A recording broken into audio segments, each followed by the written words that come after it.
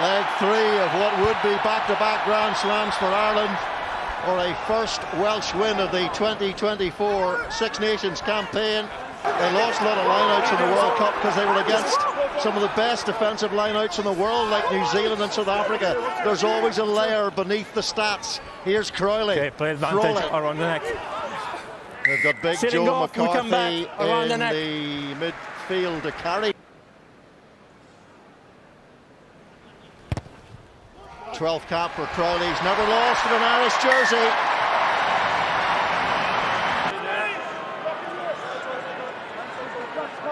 So the first time Ireland went this way towards the Welsh try line, the Welsh defence disrupted it superbly. Ireland looking for more cohesion this time. Free, the backs keep it up, keep it up. join their single numbered mates to add some heft and weight. The Welsh have their defensive flak jackets on now, and Ireland get there. They won, puncture their way. They're Not risking back ball there. Sensible choice, go for something a bit safer.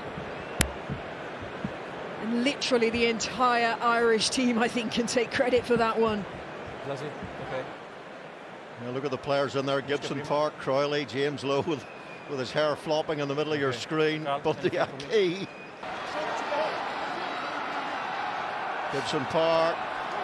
Josh van der Flier has got huge post-contact meters in this championship so far. Caelan Doris, multiple player of the match winner during his career. Offside or Wales. Joe McCarthy. Offside. Here is Crowley, and it's James Lowe. And that is one Well, you saw a bit of everything from Ireland there, didn't you? The line out more, the short carries, they try to go width, and eventually the defence broke. But Ireland were made to work for it. There were some really good phases of defence there from Wales. Every player scrambling to try and stop that attack, Beautiful but Ireland just so composed, you know, they just keep hold of that ball. They were trying to go short, it wasn't working. Okay, no. Tompkins and North, they're doing what Ireland did in the first half, which led to the try, bringing the backs in to add plenty of muscle to the drive for Wales.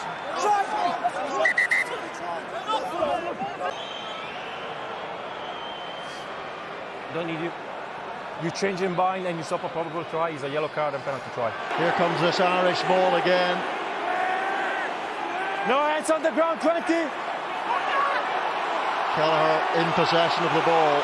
Okay, that's once. Conan just in front of him. Eight. No hands on the ground. Gibson Park, Bundee Aki denied a try a short time ago. Gibson Park, great position this for Ireland. Advantage Conan, offside. advantage from Advantage. offside. Must be for Crowley. And at last, the Welsh defence is overwhelmed. bastard, keeping the pressure on, sticking to what they know. What about that pass? Literally cuts out the rest of the defensive line. Look, all those Welsh players. And a lovely line, brilliant timing and run. Can they hold out for one or two more phases? Caelan Doris, it is beginning to look ominous. Henshaw, Tadhg Beirne. 170 tackles plus Wales have made. Healy, No, you pull away. Tommy Reffell, the top tackler with 20 to his name. Doris, Crowley. He's already scored a try in this championship. Here's Tadhg Beirne. And Tadhg Beirne is through. Oh, Wales by a brave Welsh defence. But their attacking versatility is what has won them this game. They go short, they go long, they go wide. They can keep hold of that ball, multi, multi phases, grind teams down. And they deserve that bonus point win. They've got a really good conversion rate, Ireland. Get into the 22, rounds one and two. Three and a half points they've picked up from every 22 visit. And it's something they've worked very hard on, is making that pressure pay on the scoreboard.